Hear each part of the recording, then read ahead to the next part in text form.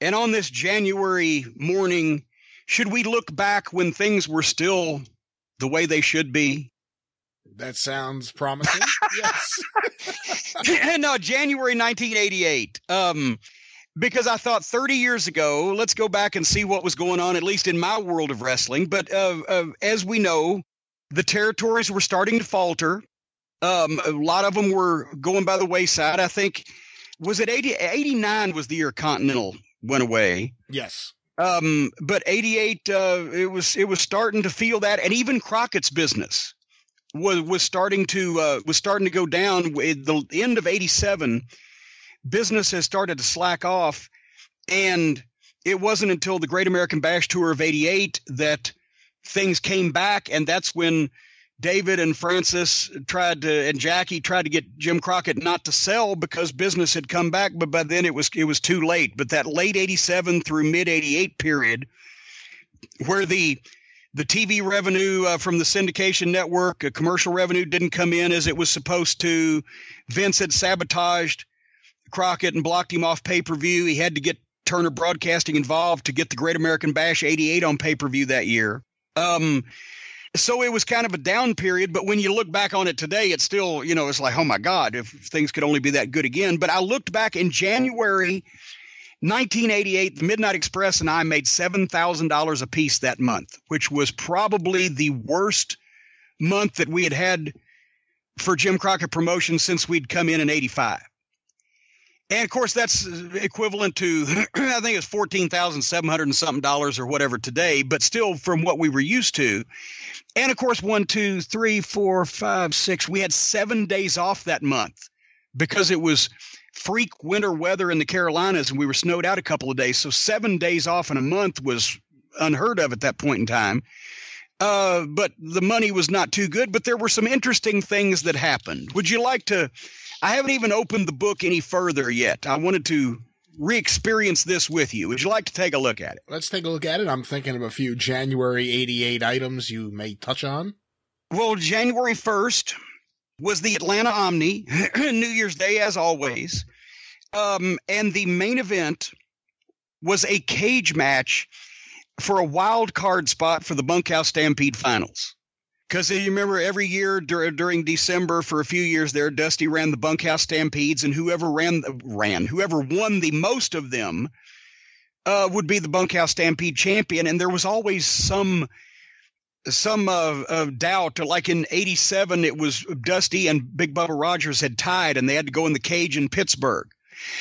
and settle the thing. And that was, you know, sell out 16,600 people, $165,000 house. It's still the most people that have ever seen a wrestling match in the city of Pittsburgh, indoors at least. I think they ran some outdoor shows in the 60s um, for Dusty and Bubba, and Dusty won the Bunkhouse Stampede. Well, this, it was a wild card for the Bunkhouse finals that were going to be held on pay per view.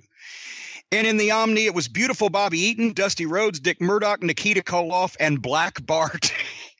I love Bart, but one of these things is not like the other in that list. And in the end, um, uh, Dusty defeated Bobby. Um, he you had to throw the guy over the cage or out the door, right? So I'd thrown the racket in to Bobby and he got some heat on Dusty with the racket and almost he got Dusty and you've never lived until you've seen somebody try to get Dusty Rhodes up on not only the top rope but to throw him over the top of the cage. But Bobby was trying and he couldn't do it. So I threw the racket up again, but Dusty got it instead and grabbed uh, grabbed the racket and hammered Bobby with it several times and knocked him off the top of the cage to the floor. So he won. Dusty Rhodes going to the bunkhouse finals in front of a $78,000 house, and that was down. That was probably only about 8,000 people. Um, whereas traditionally, New Year's did better in, in Atlanta. Uh, the following day, was Asheville, North Carolina, at the Asheville Civic Center. And once again, it was the, I don't want to say Dusty had just kind of lost grip on the booking, but he was doing some different things and some stranger things. And in this case, Bobby was against Nikita Koloff for the World TV title, and Stan was just on a single match on the card against Todd Champion, who he defeated. Uh, but then Bobby put Nikita over for the, you know with the TV title on the line. Uh, but you know, splitting the Midnight Express up, we did a lot of singles that month, and it was just odd. And and the house was only ten thousand two hundred dollars. Uh, then January third, we went to Baltimore for a TV taping. It was the A and B syndicated shows, Worldwide and uh, NWA Pro, and that was the famous night. It was seventy-two thousand dollars in Baltimore, which wasn't even in those prices. Those days wasn't even seven thousand people. It was a horrible, horrible house but they had advertised TV taping with a couple of dark matches. So, you know, but that was the night that on the A show, Worldwide Wrestling, Dick Murdoch challenged Nikita Koloff for the World TV title and they went 20 minutes Broadway. Do you remember me telling you a story? yeah, I think so. we, were, we were sitting in the back and you know it's like and and bless Nikita, but we got the finish and we're like, what the fuck? Because Nikita was not at that time an accomplished wrestler it's going to go you know a 20 minute draw in a cold match um and and you know i was like ah christ and murdoch's like ah there's going to be shit i said you know something dick i said every single person in that locker room every single one of the boys thinks there's no way you can have a good fucking match with Nikita Koloff going 20 minute Broadway. They do? I said, yeah. I said, I heard a couple of them talking about it. There's no way this match is going to stink, is what it's. Oh, they think that, huh? That was the best Nikita Koloff match that he ever wrestled. If you go back and look at it, I think this aired on January 16th, 1988 by my notes on Worldwide Wrestling, but Murdoch versus Nikita 20 minute Broadway. Now, I'm not saying it was Flair and Steamboat, but it was the best Nikita Koloff single match probably that was ever held.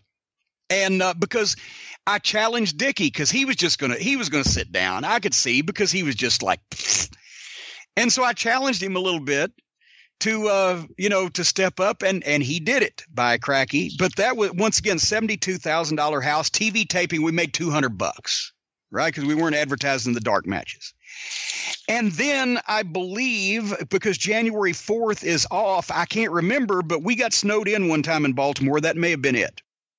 Then January 5th Spartanburg South Carolina Midnight Express versus Sting and Ron Simmons uh, wh- who we defeated because they weren't a full time tag team. It was just, you know, but once again, the house was $4,200 in Spartanburg. That was not even uh, 500 people. Um, it, and and and I don't know why that anybody thought the Midnight Express versus Sting and Ron Simmons was going to draw any money at that point in time. But anyway, that's the match we had, and we we beat them uh, with a double team maneuver and then went on to Atlanta, where we had started doing the Atlanta TBS shows for Saturday and Sunday. We'd started instead of Saturday mornings, we'd started taping them on some Wednesday nights. So that not only took another night away from a paying gig, uh, but also it, you know, it it it took actually it took two nights away from a paying gig because used to we'd do Atlanta TV on Saturday morning and then do a house show on Saturday night, and we'd do a house show on Wednesday. This time, you know, so it, it was uh, it was odd, and I never really. I, I, think it may have had something to do with TBS not wanting to bring their crew in on Saturday mornings anymore. But um, on that particular night, January sixth, we accepted the Midnight Express accepted the Tag Team of the Year award from Bill Apter and we had a couple of matches and i was managing dick at the time also and he had a couple matches. We did the saturday and sunday show and got paid a whopping $40 which is what you got paid for atlanta tv in those days. Um, then we were off on the 7th then we were also off on the 8th because we were supposed to be in newton north carolina but we got snowed out. Uh, this is going to be a recurring theme here. Uh, Saturday, January 9th, we were in Huntington, West Virginia at the beautiful Huntington Civic Center the main event, Midnight Express versus Dusty Rhodes and Nikita Koloff in a cage match. Twenty thousand dollar house. Oh, yes, Jeez. barely, barely two. Th- I'm telling you, business was. January and February, we made seven grand on each of those months, and that's why in March we went in and and talked to Crockett about our new contracts which we ended up signing, which made us the uh, most unpopular people on the roster when TBS bought the company, because our new contracts were for 225 grand a year apiece. And because he thought all that pay per view revenue was going to be coming in and all the syndicated TV revenue was going to be coming in, and it didn't come in. But anyway, so we got 445 bucks, which I guess would be almost a grand in today's money, but uh, you know, on the $20,000 house because we were in a main event, but still. Of course, we put them over. And then the following day, Sunday, January 10th, Greenville, South Carolina, Memorial Auditorium, two o'clock in the afternoon. Listen to this. we were booked against Ronnie Garvin and the Mighty Wilbur but thank God something happened and Sting replaced the mighty Wilbur. So Sting and Garvin, we got disqualified. Greenville, South Carolina, Brian, the house, $2,800. How? 300 people. Part of it was weather because, as you recall, we were just snowed out 100 miles down the road the day before. It was a horrible weather month that month. But part of it was two o'clock in the afternoon on a Sunday when there was a Monday night town, half a card because uh, uh, you know it was just the B team on the on the the lineup, and the, Greenville had been damaged, and uh, so yeah, I think that's the all time low in the history of Greenville, South Carolina. But we went that night back to Charlotte at the Coliseum where we had another TV taping. See, that's the thing. Here's another thing that affected the houses and the gates in a lot of these major markets because uh, Crockett had for years been doing TV tapings in little high school and college gyms within 100 125 miles of Charlotte, Gaffney, South Carolina, Spartanburg was a big TV location. Um, you know, Misenheimer, North Carolina, where uh, we we helped Tully and Arn beat the Rock and Roll for the tag team titles the previous September. Uh, we would do 1,500, 2,000 people in those little gyms. They'd be sold out, sometimes sold out in advance because the people never got to see live action. But then uh, putting all of their biscuits in the same basket, they were trying to do TV tapings in major arenas because they had been told and led to believe, and Crockett had been led to believe that TV tapings and the syndicated revenue and the like Vince, let's do what Vince is doing. So they started doing TV tapings in major arenas, and they'd advertise one or two dark matches, and the rest of it is see the stars of TV taping. So you wouldn't have a full card. People didn't know what they were going to fucking see, and they're used to these cards that were four and five and six matches deep in big cities like Charlotte and Greensboro and Baltimore and Atlanta with, you know, grudge matches and title matches. And now, even if they got main event matches on TV, the people who had seen TV tapings knew that they would be shorter matches. And and it, it you would have to sit through a lot of squashes with the Italian Stallion, so they weren't coming. I don't even have the house for Charlotte down. We got paid 280 bucks uh, so it wasn't very good. And uh, we had a six man tag with uh, Dicky in the midnight against Brad Armstrong, Tim Horner, and the Italian Stallion. And then uh, we were in the cage against Dusty and Nikita on on the B show, which was a short cage match with no finish, where Murdoch had run into the into the got the key from the referee, uh, run into the cage, and they had to run us off uh, with the the troops. So it was just it was TV matches, non finishes and major arenas, was not helping at all. Monday, January 11th, we were supposed to be in Fayetteville. We could not be there. We were stuck in the fucking snow. Um, as a matter of fact, I think that is the day that I actually pulled out of my driveway on, on a street that I lived on, turned left, slid sideways into a ditch, and stayed there. So I got like literally 65 feet from my house. And it, in in North Carolina, it's snow of six and eight and nine and ten inches. It closes the whole fucking city down, right? so I don't know if they ran the show, but I I couldn't make it. Um, January twelfth, North Wilkesboro, North Carolina. Nice little spot show against Ronnie Garvin and Sting. Um, of course, uh, they beat us because it was a spot show. Why not? $10,200 house. Well, not bad for a Tuesday night spot show, but that's where we should have been doing the television taping. Is where we in, in towns like we used to. Then Wednesday, January 13th, we go back to Atlanta for another TV taping on a Wednesday night. And it, once again, we've got to f- fly down to Atlanta, take the fucking taxi uh, to uh, center, st- not center stage time, but to TBS, and then, uh, uh, you know, at least we had Crockett's plane where we could get back that night, but blah. Um, Thursday, January 14th, we were going to be against the Garvins in Fishersville, Virginia. But that I believe I've I've got it scratched out. So either the show was canceled for snow or uh, or whatever rerouted, but we were off that night. Friday night, January 15th, we go to Richmond, Virginia, one of the biggest cities and, and most uh, biggest box office cities in the Crockett territory. And guess what we did? An Atlanta TV taping for January 23rd. $55,000 house, about 5,500 people, let's say. And that's a Bobby had had uh, tweaked his knee, so he had to take several days off, which is one of the only times I remember Bobby taking time off. So it was Stan Lane and Dick Murdoch against Dusty and Nikita in the cage. And then we did a tag match with uh, Dickie and Stan on TV. And, you know, we, we were in a dark match. We got $475 payoff, but, you know, blah. Uh, then the next day we go to Philadelphia, where it was supposed to be Dusty and Bobby, but since Bobby was hurt, it became Dusty and Stan. Who uh, Dusty beat uh, Stan with a crossbody, and that was a pretty goddamn decent house. I don't have it recorded, but we made eight hundred twenty-five dollars. Then listen to this one. We've been in Richmond, Virginia on Friday night for a glorified TV taping, right? We go to Philadelphia on Saturday, January 16th for a pretty good house. Sunday afternoon, we're in Charleston, West Virginia for another TV taping where we basically did a match and an interview and and an interview on the B show and got paid 75 bucks because Charleston sucked because we weren't in a dark match and it was a TV taping. And then we took Crockett's plane, jumped in a fucking car or jumped in, jumped in a cab, went to the airport, took the uh, Crockett's plane to St. Louis that night. So we went from Richmond to Philadelphia to Charleston on Sunday afternoon, St. Louis Sunday night. And uh, I managed uh, Dick Murdoch against Dusty in the main event, which was kind of a fucking thrill to manage Dick Murdoch against Dusty Rhodes. And um, basically, uh, uh disqualification finish, and it was a $400 payoff. I do not have the house recorded, but that wasn't anything special.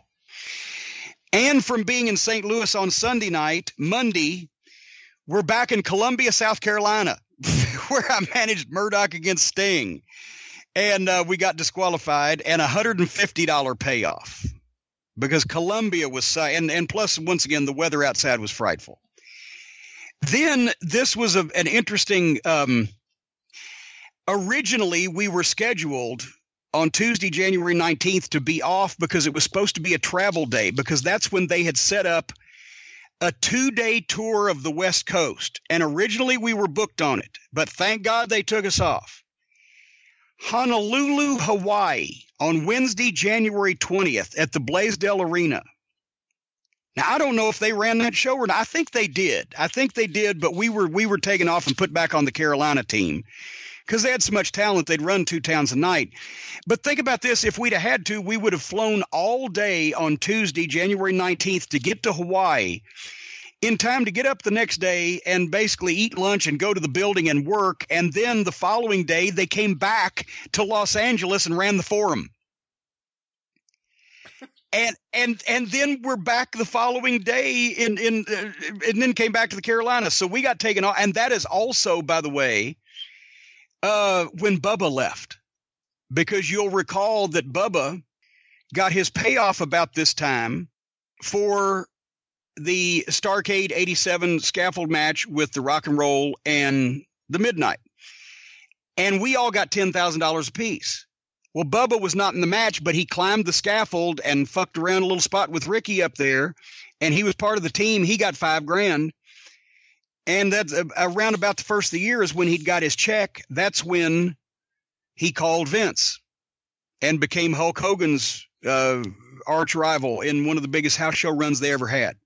So originally it was supposed to be the Midnight and Bubba against the Rock and Roll and Dr. Death in Hawaii and Los Angeles, but Bubba was gone. At that time, the rock and roll had left, possibly over the same fucking reason, because they didn't like their. I can't remember why they left. So all this shit was falling apart, right? Normally I do good months, but this was a sucky month. So anyway, it, we got a day off instead of having to fly to Hawaii for no apparent reason. And then while they were in Hawaii, we were in Georgetown, South Carolina against Ronnie Garvin and Jimmy Valiant, and the house did 16 grand in Georgetown, and we made 300 fucking dollars. And then the next day we were in Chesterfield, South Carolina against Ronnie and Jimmy Garvin, and the house did almost 10 grand, and we got another 125 or whatever. So we actually came out on the better end of that. January 22nd was Elberton, Georgia, where we were originally booked against the Rock and Roll Express, but since they were gone, no. Ricky left. That's what it was. Ricky left first because we worked with Robert Gibson and Barry Windham. And that house in Elberton, Georgia was $11,300. We made a couple of hundred bucks. So as you can see, the, the Carolina spot shows were doing adjusted for rent as good or better as towns like fucking St. Louis and they still couldn't figure this out. Uh, then uh, January 23rd, Lakeland, Florida. Midnight Express versus Ronnie Garvin and Barry Windham. We were disqualified, and a $50,000 bounty match, Murdoch versus Dusty Rhodes, and Dusty won 20 grand in Lakeland. Not bad. But you remember I talked about that bunkhouse stampede pay per view? Yep. Here's the way they routed us. We, we'd been in Elberton, Georgia on Friday night, January 22nd. Then we're in Lakeland, Florida on Saturday night, January 23rd. Sunday, January 24th was the Bunkhouse Stampede pay per view at the Nassau Coliseum in Long Island. We went literally as far as you can go from south to north in the United States the day of a pay per view had to get from the airport to the Nassau Coliseum and set up and, and, and go. And if you'll recall, that was what was universally panned as the worst Crockett Big Show ever, right? You remember that? Oh, easily, yeah. The Midnight Express didn't even have a match as a tag team on the show. It was Bobby versus Nikita for the TV title and Stan versus Jimmy Garvin in a match that was scratched because they found out they only had like a two and a half hour window or whatever and scratched a couple of the prelim matches.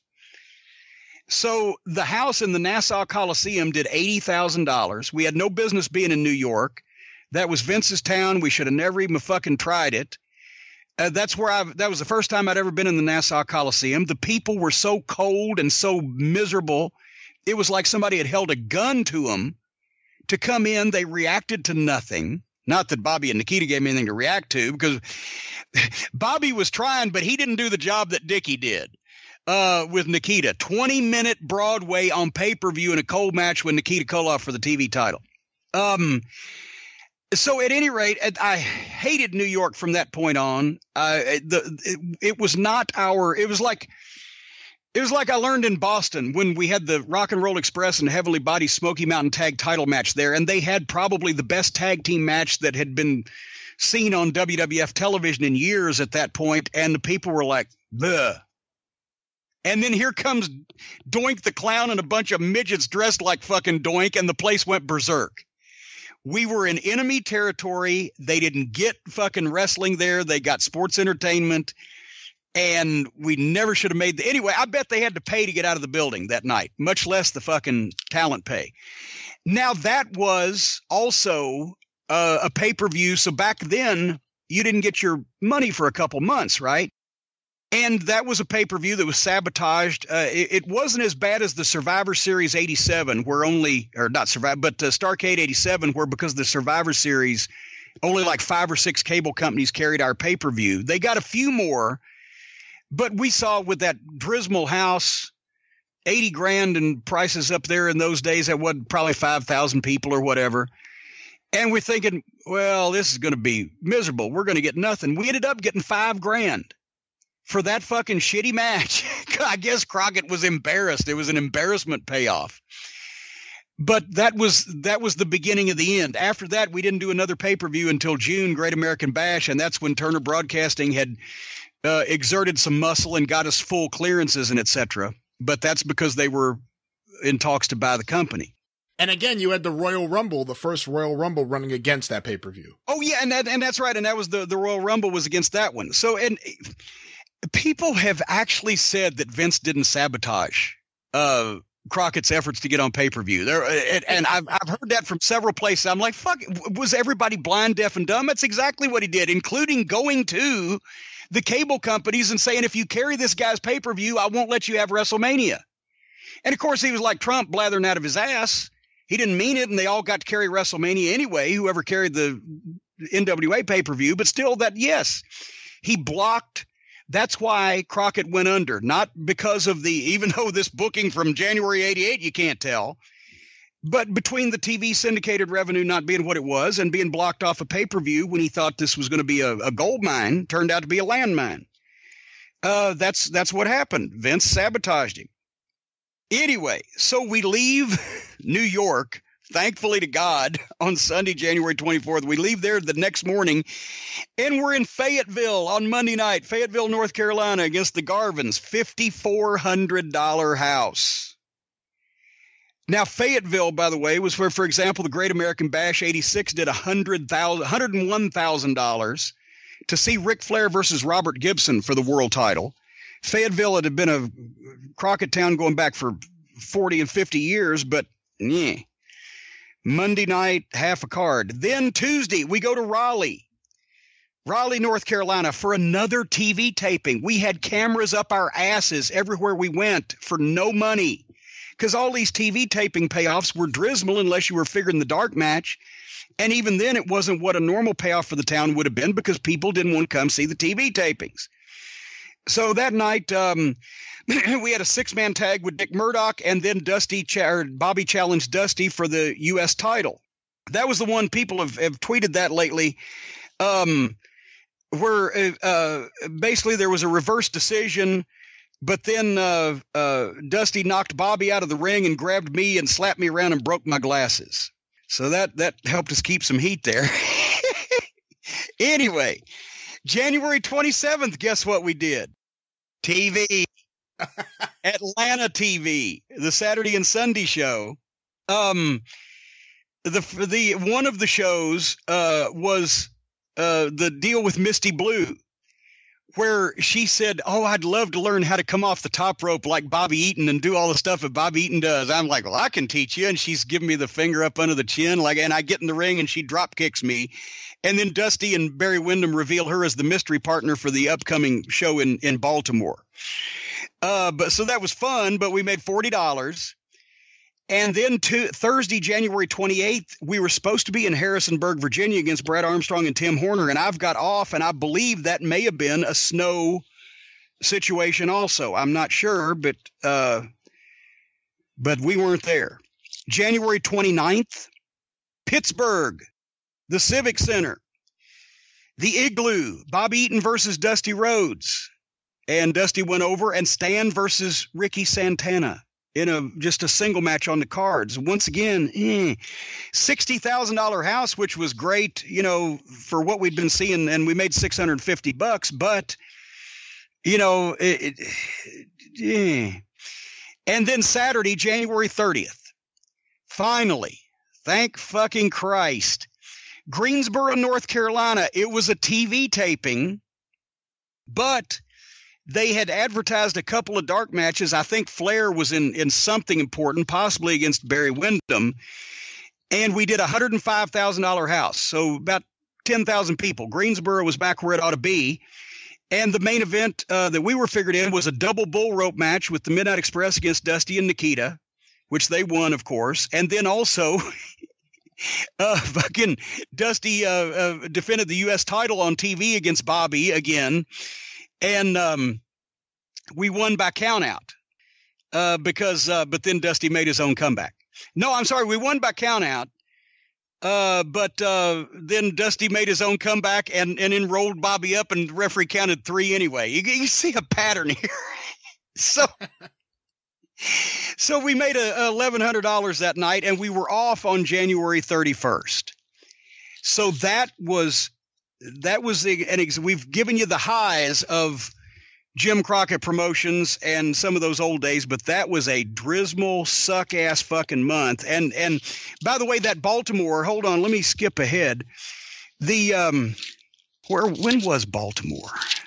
The one that we sh- that's right. Baltimore was February 12th, Lincoln's birthday, where we shot that Misty Blue thing for. It wasn't a TV taping, thank God.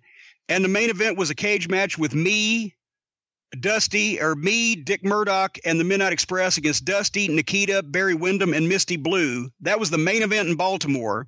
The only time we ever had that match. In a snowstorm, once again, we got there, it was four inches of fucking snow and it was still coming down. And I'm like, oh, fuck, right? We did a $103,000 house, made a $1,000 a piece. Maybe Misty didn't, I'm not sure. But that was an example of, you know, when they really want to see it, they'll come. But it, it just, looking back, I think Dusty was starting to get burned a little bit, and he'd had people leave, and he'd had to change his his booking on several occasions, and the the whole pay per view thing going up in fucking flames. And January, February, March, and April, especially April, as I recall, in uh, at that time it was it was horrible, and that's when they went into talks with TBS. But then all of a sudden, as they were in the talks, as soon as the end of June came around, and that bash tour, and it was the biggest bash tour that we'd had. I think we've gone over it uh, before but it was the biggest bash tour we'd had. We worked like 42 and 45 days. The houses were incredible. We set some records. And that's when, you know, as I'm just looking through Norfolk, Virginia, $105,000. Charlotte Memorial Stadium, $100,000. That one wasn't good. Should have been 200. Greenville, South Carolina, $61,000. Uh, Orlando, Florida, $83,000. Amarillo, $50,000.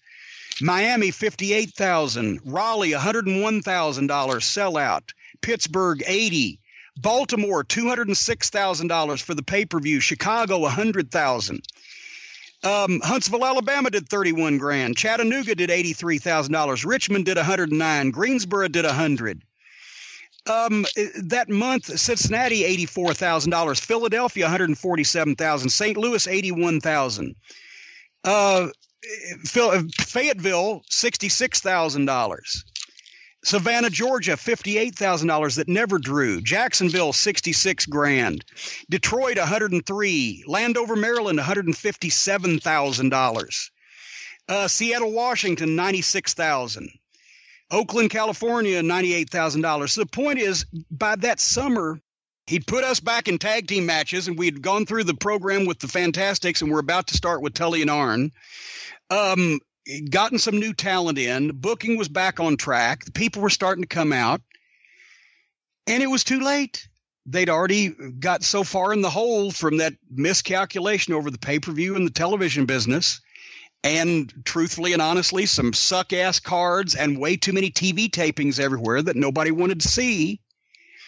Uh, it, it was it was too late, and and as as a matter of fact, even off the Great American Bash that year, business got better because in September, when he could bring back Flair and Luger for the world title and started the program with Tully and Arn, the Bash in Richmond, as I believe I'd said, did 100 grand, but in September, Richmond did $141,000. We sold the place pretty much slap dab out, and it was the all time record gate. And six weeks later, they've sold the company to TBS. That's what I was going insane about. They're, in hindsight, if they hadn't had that six or eight month period from late 87 through June of 88, it would have been a different ball game. if they hadn't put so much uh, thought into and, and, and put so much faith into pay per view and TV syndication revenue. Well, you know, Jim, Dusty gets a lot of blame for the problems that would happen to the company. His booking gets a lot of blame. And, you know, look, for the most part, to be honest, his booking, there were a lot of holes in it as late 87 into 88, you know, that time period was taking place. But when you look back at the big picture and you see, you know, like you said, Vince was able to keep them off pay per view. You know, Dusty and the booking was an issue, but the real issue seems to be the overall office or lack thereof. The business of an yeah. office of, of, Jim Crockett Jr. having an advisor who could tell him what's a good idea and what's not a good idea. And just a real, a team of serious business professionals as opposed to, oh, this guy's been around for years. He used to work for my dad. Yeah, I, well, and that's, and you know, Jimmy had did one shoot interview here a few years ago where he basically said, "Hey, it was all my fault. Don't blame the fucking CPA, the accountant." That was hopelessly in the hole and over his head. Don't blame everybody else. It was my fault, and that, and that was good of him to do that because it was really because the buck stopped there. But um, I don't think Dusty Dusty had been booking since 84. So by by 87, three years of doing some of the biggest business that had ever been done in wrestling. And, and we know for a fact that that because I have it in in a lawsuit deposition that Crockett Promotions grossed 21 million dollars in 1986 on wrestling. Not on fucking pay-per-view and not on fucking TV commercials, but on wrestling. And that would be equivalent to around you know almost 50 million today. And he that was in 86 he was one of almost 15 full-time territories in the united states still operating. And dusty was responsible for that. And dusty was a he was a great booker in terms of the big shows and the big picture and he got guys hot and he got guys over and he got heat on heels and he got baby faces over JJ was there for details, but sometimes you couldn't tell Dusty the details. Like the one time in, in Greensboro when I went up to him, I said, Dusty, the you know the finish you just gave us with the Fantastics, we did that uh, two shows ago here with the Road Warriors. He said, That's okay, kid. They won't notice it's different people. All right. What am I going to say? It's fucking Dusty.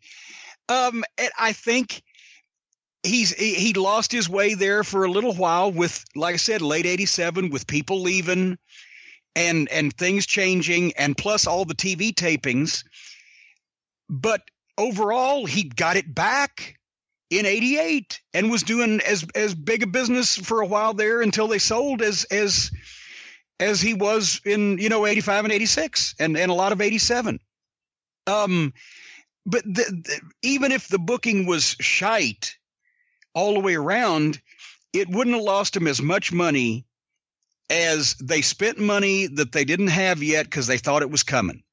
They bought the second plane and they bought all those territories, Kansas City and Florida, to get the TV syndicated syndication, to get all their TV slots. And and you know, they they Crockett had people telling him, well, look how much money Vince makes with this TV syndication. Well, we'll do the same thing. But Vince had a huge front office of people and experienced people and he was in a big major media center new york and and he did it first and instead of chasing vince and trying to replicate vince's business model they should have concentrated on as flair said many times the southeast the south and the midwest and and don't go past the mississippi and it'd been a lot better than it was but there's no way that Dusty Rhodes just being off booking could have cost him two or three million dollars. It was the planes and the TV times and the, the TV slots and the TV tapings and the the overall expansion across the, the country that they felt like that they had to do. And when uh, taking Starcade out of Greensboro and putting it in Chicago, because the the same idiots that said we were going to make all that money on TV syndication said, well, who wants to? Nobody knows where Greensboro is. We need to be in Chicago and New York. Well, okay, so they went to Chicago and did a gross of a third of what they could have done in Greensboro. I didn't think it was it mattered how big the city was. I thought it mattered how big the house was, but apparently I was wrong. So it, all those things came in the same year, um, eh, or in the same one year period, from '87 to '88. It just all came home to roost at the same time. So to say that Dusty's booking, unless he held Jimmy down and said, God damn you, you are going to buy a second plane. He might have actually, but even the second plane wouldn't have goddamn been that bad as as as uh, related to some of the other things. Of course, they did sometimes. They they got so uh, in '86. I remember when they got that first plane. J.J. Dillon called me one time. We we're going to Greenville, which was 105 miles from my my apartment at the time, Greenville, South Carolina. And JJ called me about three in the afternoon. He said, uh, be at the at Butler Aviation at the airport at, at five o'clock. We're taking the plane to Greenville. I'm like, what? I said, because it costs like twenty five hundred bucks an hour to operate that fucking Gulfstream. I said, I'm going to drive JJ. I don't want. I'm not going to fly hundred miles. I give my spot to somebody else. And I left my apartment at the same time that they all had to get to the airport, and I beat them to the building. But they just they they it was going so good. Everybody was living like a rock star. That's uh, you've heard Flair say that Crockett's uh, office parking lot over on Briarbend Drive looked like a Mercedes dealership. I was the only one that didn't have either a Mercedes, a BMW, or a Lincoln Continental. I broke down and got a, a one of those T-Birds when they came out with the turbo. Remember an '85 T-Bird turbo, and boy, it looked nice. It was bright red, but it only cost me 17 grand for fuck's sake. so when I'd have when the magazine photographers would would come down and, and shoot something, I'd I'd just open somebody else's door and act like I was getting in their their Mercedes. But uh, you know, I I just I will not hear anybody say it was Dusty's fault. It wasn't Dusty's fault. You know, because the guy running the company should have said, "Hey, you know what? We might be spending too much money that we ain't got coming in yet, just because a lot of these people are supposedly smart say it's going to." And Dusty would, he'd run a big show, but he got big returns. And, you know, like I said, uh, that that period he he kind of got in the weeds a little bit, but he was still able to pull out the big shows, and finally he got it all together and got to the wagon circled and got business back up. Ben, then okay, July, August, and September of 1988, we're doing six figure houses in all those places I just mentioned we, we uh, record gates in some towns they've been running for years. October 31st or November 1st, whichever day it was officially that TBS took over. Look at what, and then they fired Dusty the first week or second week of December. Look what they were doing in January. If you want to talk about sabotage, you want to talk about bad booking, and you want to talk about people that didn't want to see shit, you compare January 19, which we might do sometime, January 1989 with January 88, it looked like we were in the middle of fucking WrestleMania season that shitty month that I just told you about. There nothing happened in January 89 except the bottom fell out of the business and they never got it back because they continued to go further and further away from the Carolinas towns, more TV tapings, and Dusty wasn't booking. And as you'll recall, Jimmy Crockett was the interim booker for about six weeks until they got George Scott in, and he pretty much finished the thing the rest of the way off. You talked about the uh, predatory business practices of the WWF trying to prevent Crockett from getting on pay per view. What were your thoughts a couple months later from this when you guys ran the first clash against WrestleMania and it was considered a success, success by so many people? But what were you guys thinking when you heard the news that you guys were going to, in a way, strike back Oh, we loved it. Why do Why do you think that the cla- the first Clash of Champions, WrestleMania Day '88? why do you think that the, two of the matches on the card placed in the Wrestling Observer and the Pro Wrestling Torch and, and Steve Beverly's Mat Watch and everything else is matches of the year because goddamn everybody's like you motherfuckers we'll fix you up. You fucked us on pay-per-view and kept us from these 10 and 15 20 thousand dollar payoffs. We're gonna fuck with you. And Ric Flair not only had the match of the year and made Sting a star, but remember us, in the Fantastics? He was motherfuckers. We're going to show you what, what this shit's like. And that goddamn match stands up today. There, we we could have dropped a fucking cow in the ring and slaughtered it, and not uh, got any people any more excited than that match. And everybody was up that day because they wanted to uh, they wanted to prove a point. And we did ding WrestleMania that year. We took a lot away from it, and uh, and we were happy to do it because turnabout is fair play, as they say. And that's when your feud with Donald Trump began. Yeah, that's right. They were at, and that's another thing. We were in Greensboro in front of wrestling fans, and they were going fucking hooting, hollering crazy. And they were at Trump Plaza in front of, wasn't that like one of the deadest crowds in the history of wrestling big shows that year? Yes, it was all the high rollers, however many of them yeah. actually were. Yeah. Yeah, so so the the it w- there was never any doubt that the NWA in-ring product was so much superior to the WWF product during all the 80s. And I'm not I'm not knocking the individual talent that worked there. I mean, you know, Slaughter and Patterson in the in the alley fight match and et cetera, et cetera. They had good matches on occasion, but anybody with the power of eyesight could tell that the NWA in ring product was so far ahead of the WWF that it, it wasn't even a, an issue. But we didn't have the infrastructure in the office. We still had what was the goddamn CPA's name, and and you know uh, the three old ladies that were that were the secretaries in the front office, and Gene Anderson running promos, and and Sandy Scott and the Murnicks and a few other people were the local promoters. There, you, I don't know that 30 people full time worked for Crockett Promotions in the office or promotional area when they grossed $20 million that year. You know, it, it, it, so that that was that was the difference was the infrastructure. The product was far superior, and our coverage was the same. Vince beat us out west and in the northeast. We kicked his ass in the south and in the southeast. Midwest, it was uh, a tie depending on the market, and and the NWA style was more popular down in Texas. So and and the ratings for TBS were just as good as USA's ratings, if not better. And the syndicated ratings were pretty goddamn close. Once again, varied from the market, but overall. So it wasn't a matter of a bunch more people seeing one product over another. It was it was just the fact that they had Vince had always had his shit together with his office operation compared to everybody else in wrestling. That was it. That's why that's why McDonald's sells more hamburgers than the fucking guy that makes them from scratch down the block. It doesn't mean they're better hamburgers. It's always been that way. We got beat in the office. We did, we did the job in the office. Hey, one last question, Jim. Vince McMahon seemed to have had a particular dislike for Jim Crockett Jr. In your time around him, did it ever come up? Did he ever say anything about Crockett Promotions or Jim Crockett Jr.?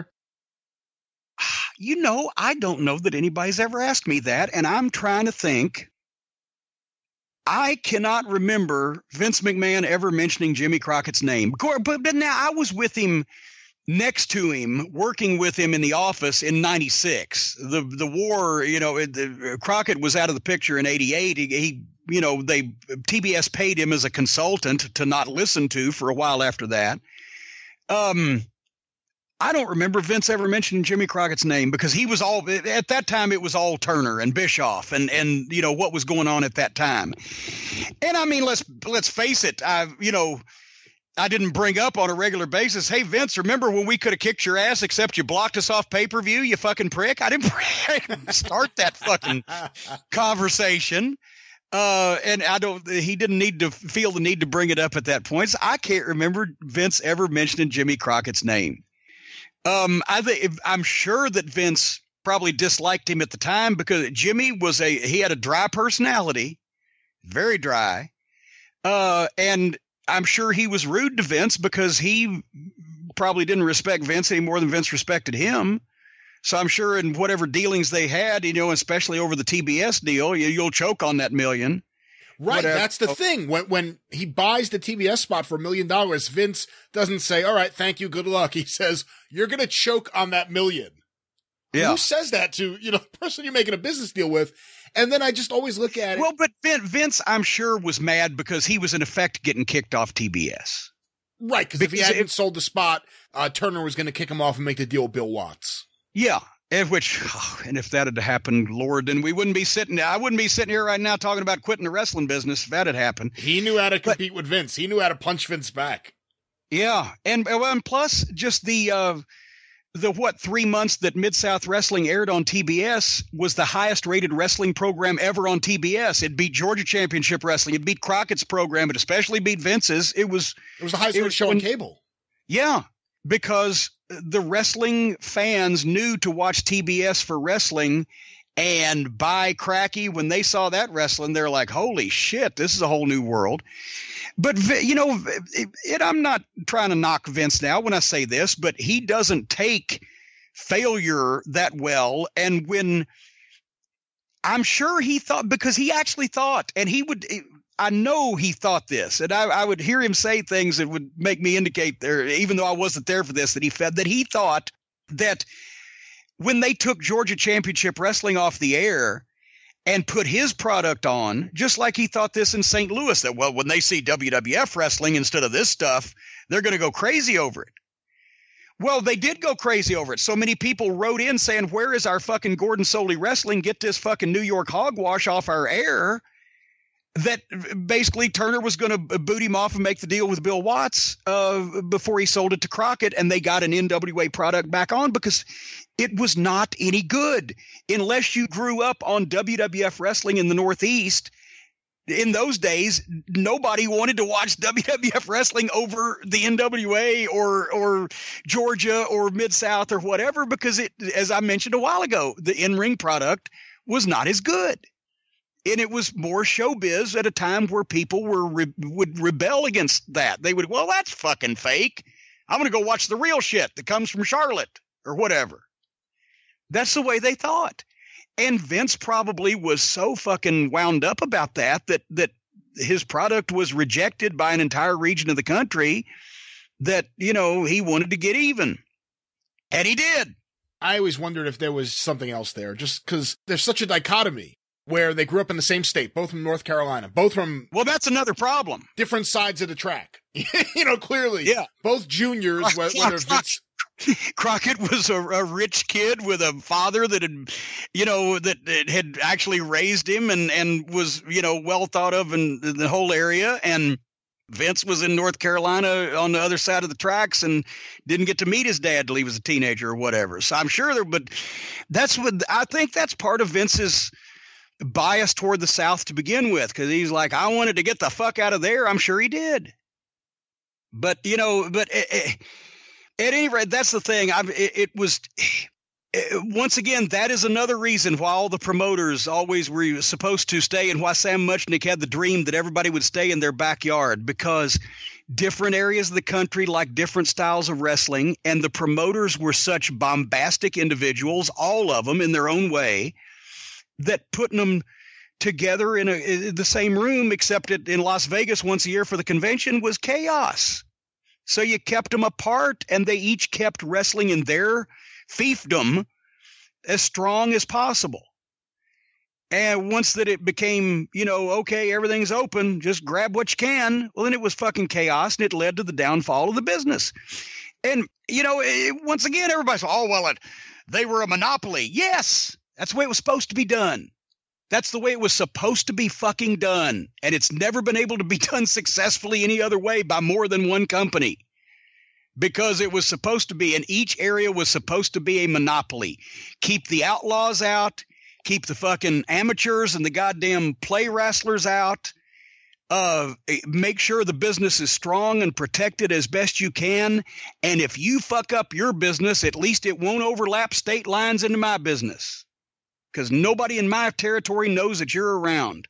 That was the way that wrestling was done. And it was supposed to be done that way, and it still should be. And we wouldn't have many of these problems.